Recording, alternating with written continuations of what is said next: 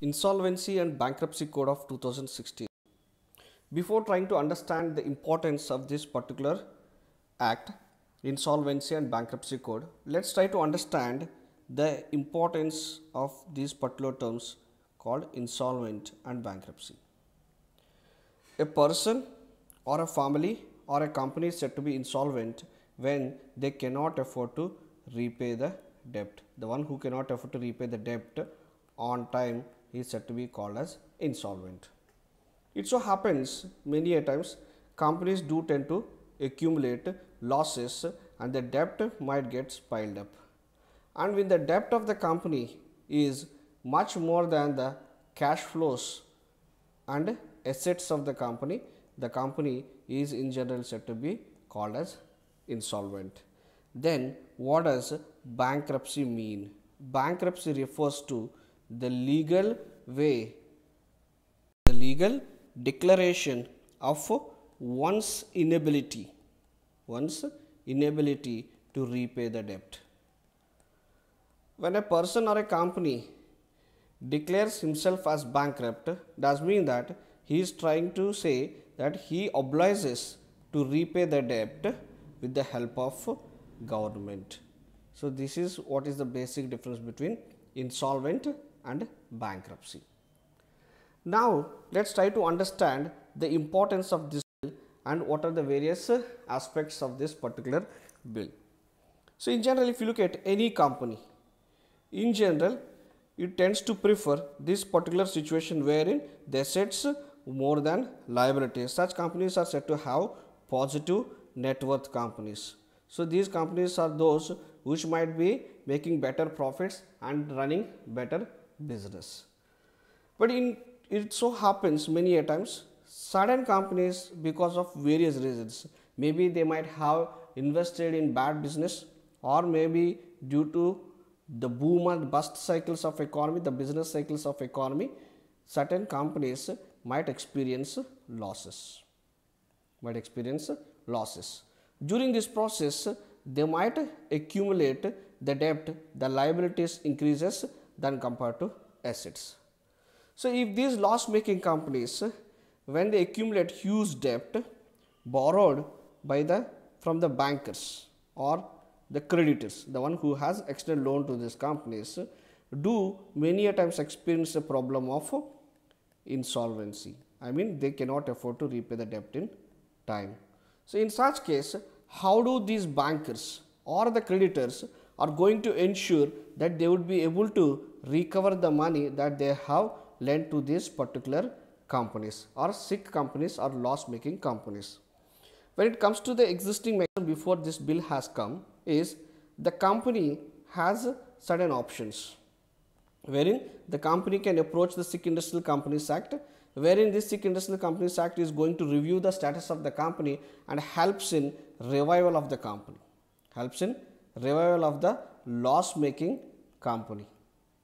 But at times when certain companies loses hope, when they don't have any ray of hope, the debt, the creditors, in order to ensure that they would be able to recover the loan from such loss making companies, do approach debt recovery tribunals who helps in recovery of the debt. And when it comes to the banks, there is an act called SARFAESI Act which has been brought by the government of India in 2002 which stands for securitization and reconstruction of financial assets and enforcement of securities interest act which gives the authority for the bankers to take over the ownership of the assets of the company liquidate the assets and ensure recovery of the loans of the company.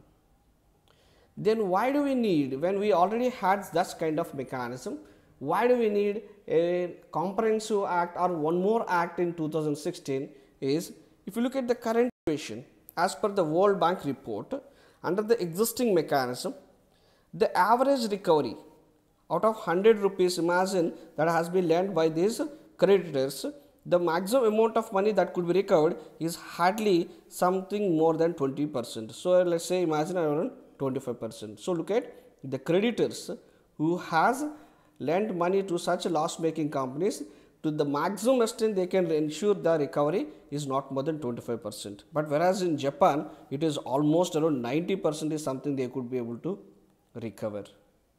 And UK, look at it, it's around 85 percent. And in fact, it is much okay when it compared to any other country. It is the India except Brazil, having a very low rate of recovery. At the same time, look at the average time period it takes for recovering the loans. So, it is more than 4 years. So, if you look at the PT situation of the creditors, not only that they have to spend more time or they have to wait more time to ensure speed okay to ensure recovery of the loans at the end of more than 4 years what they would be able to recover is hardly 25 percent and that is the basic reason many investors or creditors do criticize the ease of doing business. So, this, they say when it comes to the ease of doing business, it is highly unfavorable to these external investors or the creditors who want to lend money to those companies investing in India. Since we have multiple laws with respect to recovery of these particular loans and at the same time if you look at the problem of debt recovery tribunal it is being dealing with a backlog of around 4 trillion worth 4 trillion rupees worth of cases and for the last 3 financial years less than 20 percent of cases taken up by various channels such as debt recovery tribunals lok adalats and SARFAESI courts have been successfully resolved so henceforth the government has come up with this particular insolvency and bankruptcy code. Now let us look at how this existing bill is different from the previous existing mechanism. This particular bill seeks to consolidate all existing laws, consolidate all existing laws that deals with the insolvency and bankruptcy. At the same time, it specifies a time frame of 180 days from the process it has been initiated and sometimes it might take certain 90 days of extension to uh, for the speedy recovery and resolving the problem of insolvency. Now, let us try to understand how this bill or how this particular mechanism is trying to ensure faster resolution. When a company has turned to become insolvent or when it loses hope that it cannot afford to sustain or cannot afford to repay the debt on time.